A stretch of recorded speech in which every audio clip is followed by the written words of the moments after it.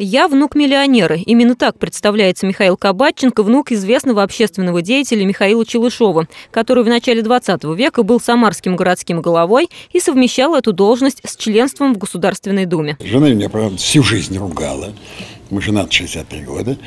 И все эти три, все что, да что ты не успеваешь, здрасте сказать, уже рассказываешь э, ну, горжусь дедом. Многогранная личность деда, удивительная судьба и фантастическая история богатства. Один из купцов дал 15-летнему мальчишке просто так 10 тысяч рублей. По тем временам большие деньги.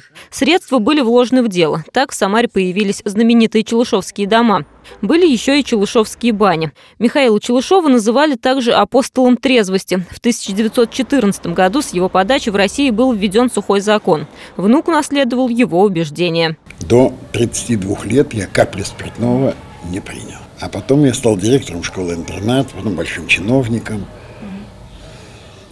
И я случайно услышал, как у мужчины, у меня в интернате было 12 мужчин, мужики между собой говорят, а директор нами просто брезгует, что такой и не пил.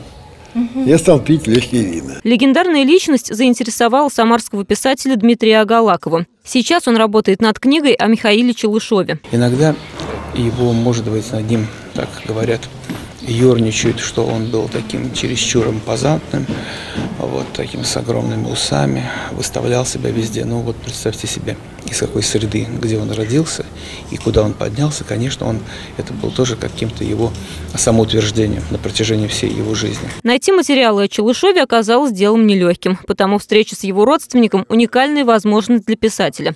Дмитрий Агалаков признался, несколько удивительных фактов из жизни Михаила Дмитриевича он уже раздобыл, но пока держит в секрете. Марина Матвеевна, Станислав Левин. События.